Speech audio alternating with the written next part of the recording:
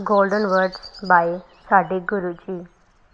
ਹਾਲਾਤ ਬਹੁਤ माड़े आ रहे ने जो पाठ करेगा वो बच जाएगा गुरु जी कहते हैं आने वाला समय बहुत ख़राब आ रहा है जो प्रार्थना में विश्वास करेगा